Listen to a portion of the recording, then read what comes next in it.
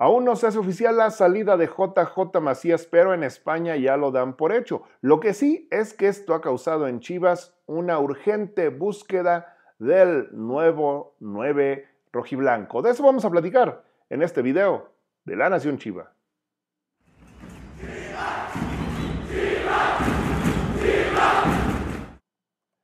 Saludos chivermanos, bienvenidos una vez más a La Nación Chiva. Vamos a platicar de este tema importante de los últimos días. No vamos a tocar tanto la salida de, de JJ. Brevemente, nada más para aclarar fechas, ya tendría agendado eh, su viaje a España el día 2 para el día 5 presentar eh, pruebas médicas y quizá ya hacer la presentación. Esto eh, en general en el caso JJ Macías. Lo que sí es que nos vamos a enfocar en este video es a, platicar de qué va a suceder.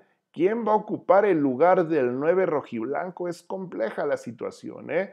No hay muchas posibilidades, no hay muchas opciones. Vamos a revisar eh, qué hay en la cantera, qué hay en el primer equipo, porque les digo, son, son pocas, son pocas las opciones. Pero bueno, antes de revisar los números, los invitamos a que si no son parte de la Nación Chiva, le den clic al botón de suscribirse y también no olviden activar la campanita de las notificaciones para que se enteren en todo momento de las novedades en el Club Deportivo Guadalajara. Bueno, eh, haciendo una revisión de los mejores mexicanos, los mexicanos con más gol en, eh, del 2018 para acá, es decir, del último ciclo mundialista a la fecha, estos son los mejores y pues no, no veo cómo podamos traer alguno de estos.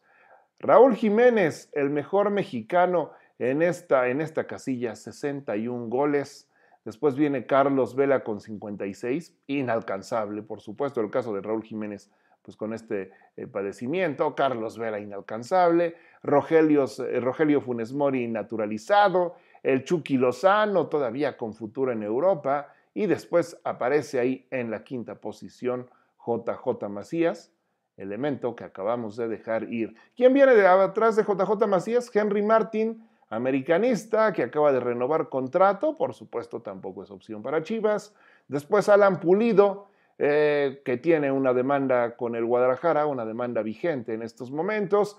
Y luego el Chicharito Hernández. ¿Para qué hablar más del Chicharito? Ya un tema muy desgastado de una llegada al Guadalajara, pues no, de momento nada. Entonces, no hay de dónde, ¿eh? No hay de dónde en cuanto a contrataciones. Eh, tiene mucho que ver cómo se cierre la negociación con el eh, Getafe, ¿sí? De alguna manera lo que pague alcanza para algo, pero para algo del mercado nacional, ¿eh?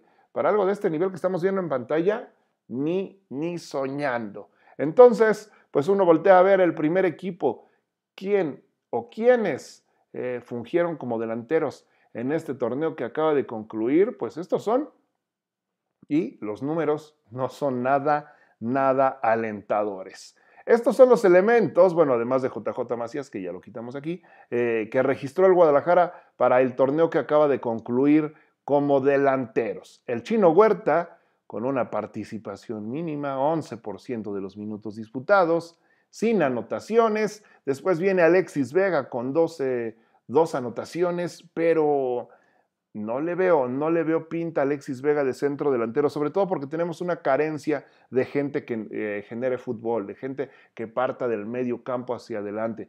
Con, eh, con Alexis Vega adelante como nueve me parece que perderíamos un poco de generación. Eh, lo que más ha aportado al Guadalajara, y lo, ya lo veíamos este torneo, uno de los mejores jugadores, pero no como goleador, ¿no? sino como el que crea, el que genera, el que de repente distribuye, el que mete un buen balón. Si Alexis Vega se va de punta, yo no sé quién le va a poner el pase. Después Ronaldo Cisneros, el que vemos ahí al centro de la pantalla. Eh, Ronaldo Cisneros, estos números corresponden a lo que hizo en el tapatío, porque él fue registrado en Chivas, pero tuvo nula participación. Él más bien jugó en el tapatío, disputó 14 partidos, los 14 de titular, fue el máximo anotador ahí en la Liga de Expansión con los rojiblancos, tuvo cinco anotaciones y después, bueno, se da estos problemas eh, de salud que se han, se han presentado, eh, aunque está como transferible, yo veo muy complicado que salga del tapatío, así es de que, pues esta sería una opción. Me parece que Ronaldo Cisneros tendría una nueva oportunidad en el Guadalajara, peleándola ahí con el Chelo Saldívar, que también con poca participación, pues este torneo consiguió un gol en el clásico tapatío, por supuesto, de Taquito. Qué, qué bonito gol, muy valioso, pero fue lo más destacado que hizo esta temporada. Y qué decir de Oribe Peralta. 5% de los minutos disputados. Esto es lo que hay en Chivas.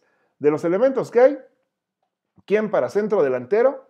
Pues bueno, se supone que para eso fue creado el tapatío. Y si revisamos al tapatío también, el panorama no es muy alentador.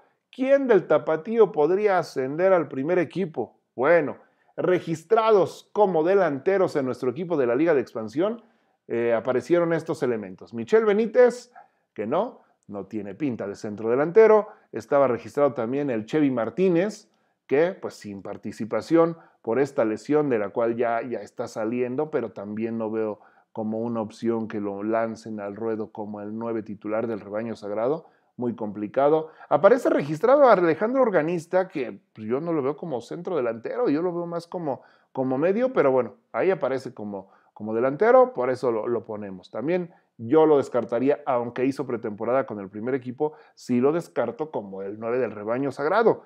Irving Márquez, nula participación con el Tapatío, 3% de los minutos. Después viene Alejandro Villalobos, que estaba prestado en Tapatío, que ya regresó a Leones Negros. Y después Diego Hernández, que ha sido transferido a la Jaiba Brava del Tampico Madero. Estos son los elementos de los que se supone eh, pues el Guadalajara podría echar mano, bueno, salvo los dos transferidos, eh, es lo que hay en el tapatío. Si, si voltea Bucetich para abajo a su equipo de la Liga de Expansión, esto es lo que encuentra.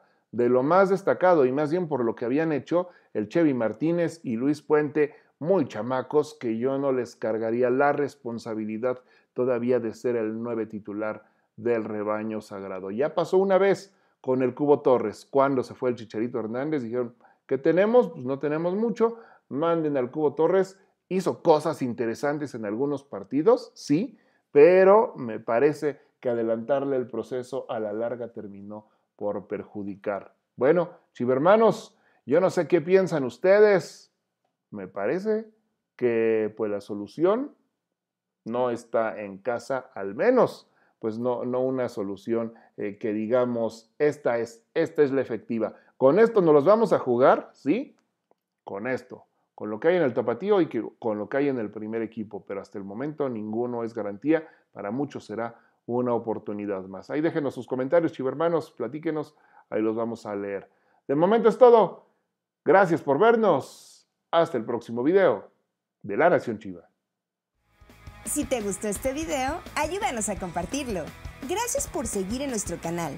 Si no estás suscrito, suscríbete y si quieres estar informado en todo momento de la actualidad del rebaño sagrado, activa la campanita y nosotros te avisaremos en cuanto algo importante suceda en la Nación Chiva.